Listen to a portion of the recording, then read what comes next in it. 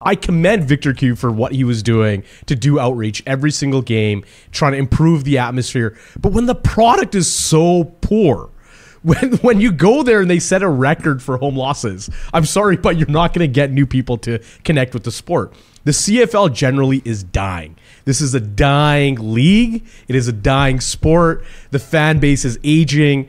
The league has to change. The government refused to bail them out. People don't want to put their children into football anymore. I mean, you watch NFL training camps and you see like the big bubble uh, helmets because even the NFL is now starting to recognize, you know, that they don't need to take this needless uh, damage in, pre- in But the. NFL is still the biggest sport by a mile in the states. Absolutely, but are people and our parents actually putting their children into it in Canada? I don't absolutely. I see that not happening. This is an obsolete stadium. We have no use for it.